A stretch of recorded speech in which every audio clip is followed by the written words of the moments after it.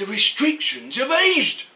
Get thee out of me way, as I jumped at the chance to go out for the day. My gas guzzler, I polished her, oh, all shiny and clean.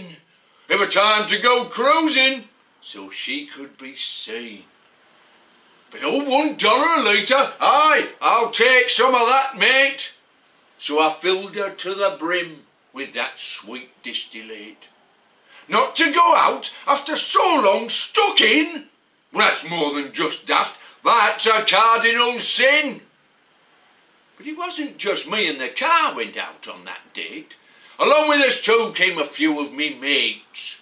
So piled in the gas the last Sunday with me were my likeliest chums, the Mustafas three. First Alvin Mustafa, he's the runt of the lads. He bought a bottle of wild turkey that he'd nicked from his dad's.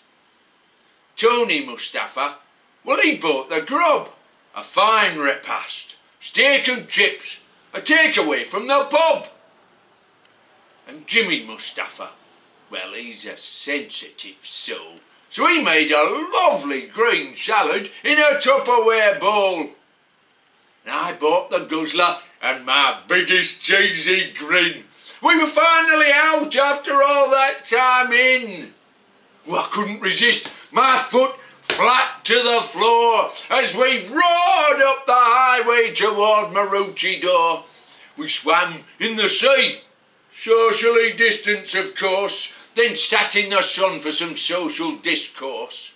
On a blanket, we picnicked. We feasted like kings in our sunglasses and shorts and those flip-floppy things.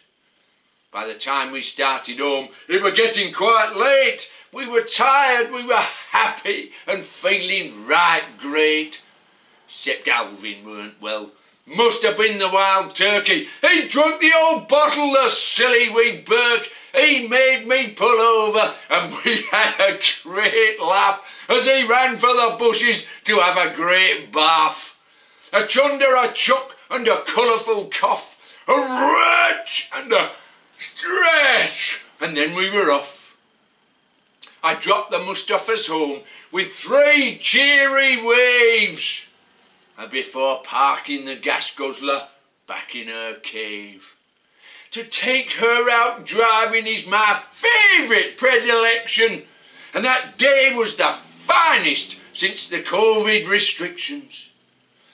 I'm Petrol Pete, as I often intone, the man with poetic distillation in his bones.